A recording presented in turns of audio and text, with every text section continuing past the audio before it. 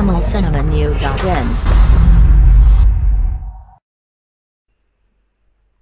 ஹைதராபாத்தில் ஐடி தம்பதிகள் போதைக்கு அடிமையாக்கி நிறுவனமாக படம் எடுத்த யோகா டீச்சரை போலீசார் அதிரடியாக கைது செய்த சம்பவம் பெரும் பரபரப்பை ஏற்படுத்தியுள்ளது.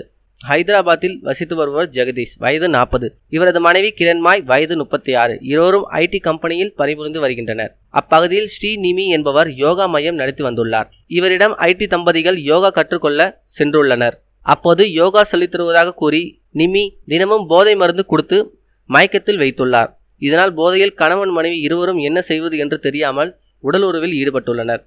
இது அவர்களுக்கு தெரியாமல் நிறுவனமாக இருக்கும் காட்சியை போனில் வீடியோ எடுத்து வைத்துள்ளார். இதன் பின்னர் பணம் கேட்டு மிரட்டி பல லட்சம் ரூபாய் வாங்கியுள்ளார் மேலும் தம்பதிகளை தமிழ்நாட்டுக்கு கடத்தி வைத்து மறைத்து வைத்துள்ளார். இதை பற்றி ஐடி தம்பதிகளின் பெற்றோர்கள் ஹைதராபாத் காவல் நிலையத்தில் புகார் அளித்துள்ளனர்.